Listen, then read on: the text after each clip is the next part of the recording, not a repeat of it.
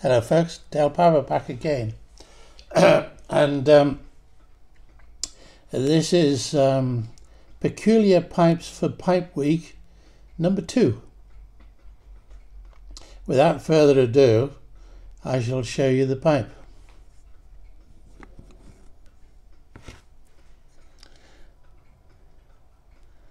It's a cherry wood. Now, a lot of you may say, well, that's not very remarkable. Cherry woods are pretty common. You can see the bark of the cherry there. And it looks very rural, shall we say. And it says made in France on the bottom. Cherry wood. But that's not the one I'm going to show you. This, stand by, is the one I'm going to show you. Now this is my peculiar pipe number two, a cherry wood in which that little pipe sits in the bowl. Well, just about.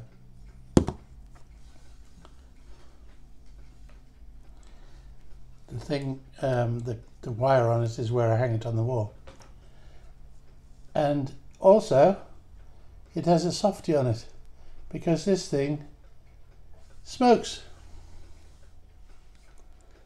I have smoked it. Well, I've tried to smoke it. It's a monster.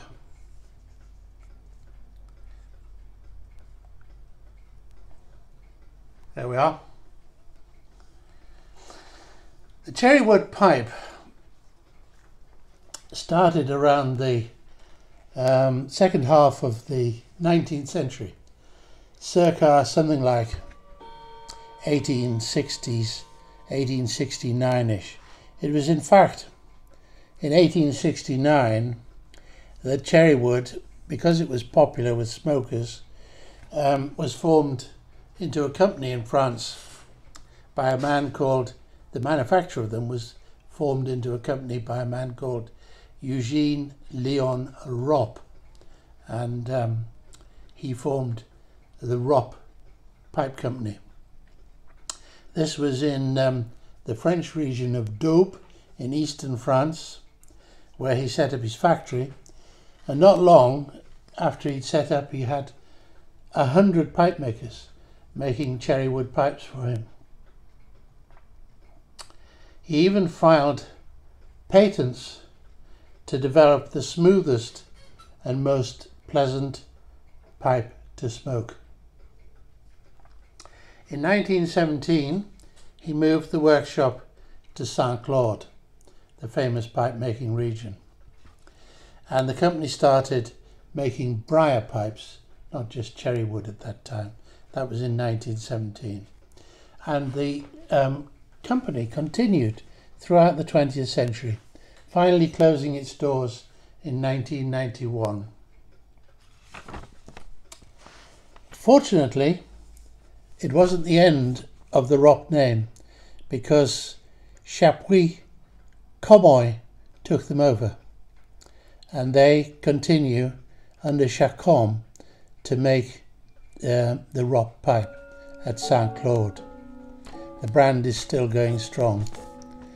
Ropp are considered very good value, very good value for money, and they enjoy a following, particularly by our own tree.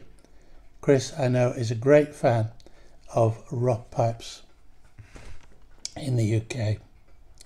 And they're famous, of course, for their classic style. So that is peculiar pipe number two, a cherry wood pipe. Look out for tomorrow's peculiar pipe.